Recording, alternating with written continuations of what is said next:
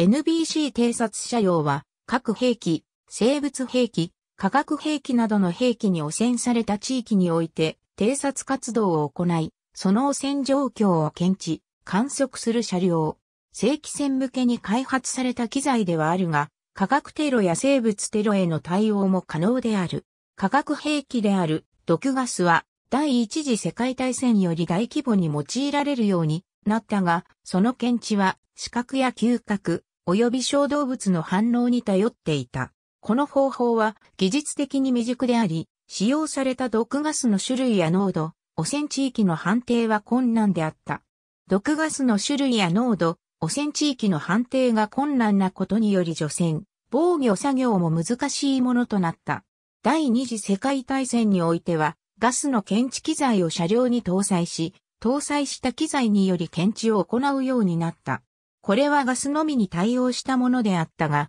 大戦後に核兵器の開発や各種技術の発達とともに、NBC 兵器に対応する NBC 偵察車両として発展することとなった。陸上自衛隊の NBC 偵察車現代の NBC 偵察車両の特徴としては、高度な密閉性を持ち、汚染された車外状況について検知、観測を行うことができる。車両内部には各種の検査機器を搭載し、センサー部は車外にある。高度な密閉性を有しているために、車内は汚染されず、乗員は防護服を着用せずとも、比較的安全に検知作業を行うことができる。主なセンサーとしては、毒ガス検知器や放射線測定器などであり、バイオテクノロジーの進展に伴い、生物兵器探知機器も搭載されつつある。武装は自衛兵器程度であり、重装甲もなされていない。正規戦における状況によっては、